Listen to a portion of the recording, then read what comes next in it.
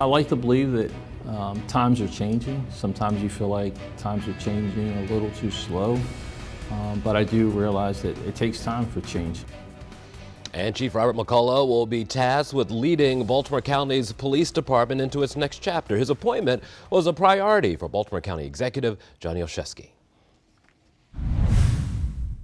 Here to talk to us a little bit about the future of Baltimore County is the county executive, Johnny Olszewski. Good to see you. Hey, great to be here again with you. Yeah, good to see you. And, and listen, big news coming out of the county. You have a new leadership in Baltimore County. I Yep. can tell the excitement. Tell me about keeping it in-house. Uh, Chief McCullough has been around for about 35 years in the Yeah, department. we're so excited to welcome Chief McCullough to Baltimore County. As you said, 35 years of service um, from a cadet all the way through a colonel and now our chief. Barrier breaking, homegrown, has hit the ground running, meeting with the community, the rank and file. He knows our issues. He shares my values about how we do community oriented policing and partnerships using data, tackling some of the big issues out there. And so we're just really thrilled. The response has been great, and we're really excited to welcome him to Baltimore County. Or welcome that- back, really. Yeah, really. And- was that important to have someone who knew the inner workings of the inside versus going outside and having a new outlook? We knew that we wanted someone who could hit the ground running, someone who would learn, if not already know, the issues of our communities. And so it was a very competitive national process. We had dozens of really highly qualified applicants.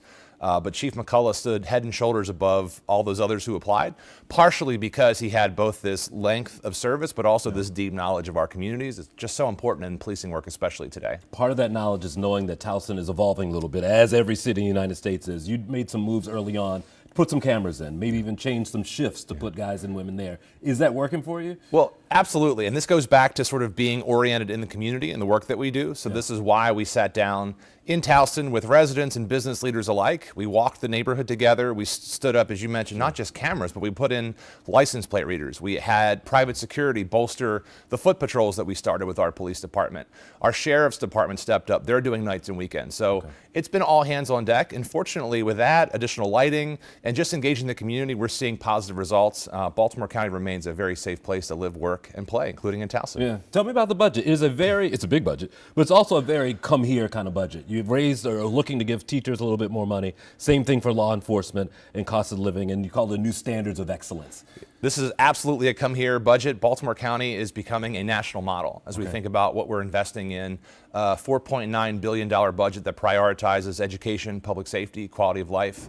Our teachers uh, will see starting salaries of $59,000 a year, some of the highest in the region. Same, same thing for public safety, some of the highest starting salaries. Uh, maintenance of effort, it's the single largest increase in education we've ever made in Baltimore County. So we're excited about the investments we're making both on, in our people, a 4% cost of living plus steps for our employees, student loan forgiveness for our employees, but also in the projects. Um, hundreds of millions of dollars for schools. We're building those new schools at Towson, Dulaney, and Lansdowne. We're putting investments in across our community, $65 million of recreation and parks, police station, fire station, senior centers, you name it. We're making the investments, and we're excited about this budget. Has it been tough to fill some government jobs? Because I'm guessing, I mean, the city, same thing. I mean, they put out a, a call for CDL drivers as well. Same thing for you guys, just attracting people? Uh, yeah, Absolutely. That's why this has been a budget that invests in our people. They're our most critical resource. Um, again, the increases in salaries this year are the largest increases of our employees have seen in over three decades. So, uh, not just investing in our people in terms of their salaries, but supporting them, as I mentioned, with uh, tuition um, forgiveness, and we, we both pay for people to go to class, and now we're doing loan forgiveness uh, for our employees. Okay. This is a budget that actually has free community college uh, for any any family making $150,000 or less. We're just really proud of the investments we're making in our people and in our communities. Tell me about the investment when it comes to a Fair Wage Act. That came out of legislative session. And, and there are two sides to this coin. I think the folks that make the money are excited about it. Those who have to pay it are a little worried about what it means for their business. You know, at the end of the day, we want people who are working to be rewarded for that work. Yeah. We want people who are working to be able to support their families, and we know that $15 um, is a family, a more family-sustaining wage. And so I was, I was very pleased to join Governor Moore, uh, testified alongside the governor to support the effort to raise the minimum wage here in Maryland. We're proud that in Baltimore County we were already ahead of that curve We've been, pla- been paying uh, more than $15 for the last two years now. Sure. Uh, we've shown that it's possible. And again, it's about investing in those people. And so we certainly understand all the arguments, but at the end of the day, uh, if folks are working, particularly to support their families and, and build that opportunity, we have to make sure that they're earning a wage that's fair to them. As folks seem to be coming to the county, uh, you're dealing with a bigger population, I'm guessing, since the first time you took office. Is this process different this time around? Did it feel different?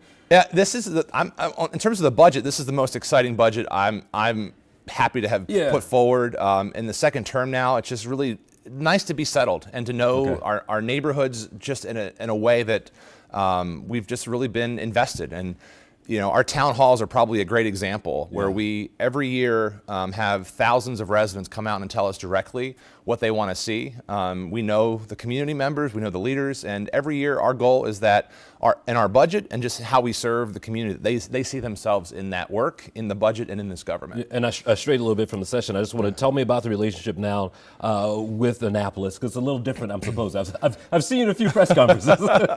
Yeah, I mean, huge wins this legislative session. In addition to the Fair Wage Act, um, there were the, the tax credits for earned income tax credit and um, the child tax credit were made permanent. All issues we supported, again, supporting our working families. Uh, lots of capital dollars for Baltimore County and a huge win for the region uh, in, in the water task force. I joined Mayor Scott and, and the, again, the governor and uh, the Speaker of the House and Senate President. We have a task force where we're going to look at this dated water system that's older than the mayor and myself that hasn't been updated in uh, decades, but we're looking forward to modernizing that system. For the average person, because I read about that, and I'll tell you, I got sort of lost in the weeds as a city resident, and then knowing that the county is th- this uh, arrangement. My father, in fact, lives in Randallstown, but I know that water system is a city operated thing. Describe what this means for folks as you deal with the water system. Yeah, this is about making this water system best in class. It is Okay. a city owned and operated asset, but Baltimore County is responsible for contributing 50% of all operating and capital dollars towards this system.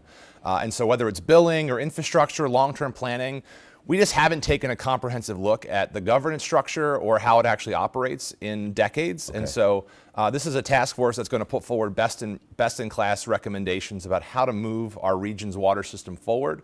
Um, it's changed dramatically over the past, you know, several years. We don't use the same technology or Yeah. the same processes as we've done back in the 1970s. So, uh, time to change that. But I'm just excited that we're going to have a fresh look at this, and uh, you know, be good for our ratepayers, be good for the environment, and uh, just be good for the system. Okay, great. You and I always talk sports towards the end, so the Orioles are looking all right, and then Lamar, 200 some million dollars. The Jalen Hurts deal makes it makes me think we might get a deal done for Lamar. Okay. Uh, but the Orioles are on fire. I'm loving the orange. Hey man, it's the Wednesday. when tie. We're taping this. loving the orange tie. Uh, the Orioles are, uh, you know, I think looking good. I, I like Yeah. our chances. I think we're going to be in the playoffs this yeah, year. that stadium will have people there. This Yeah. year. Hey, good to see you. Thank you so Yeah, much. As always.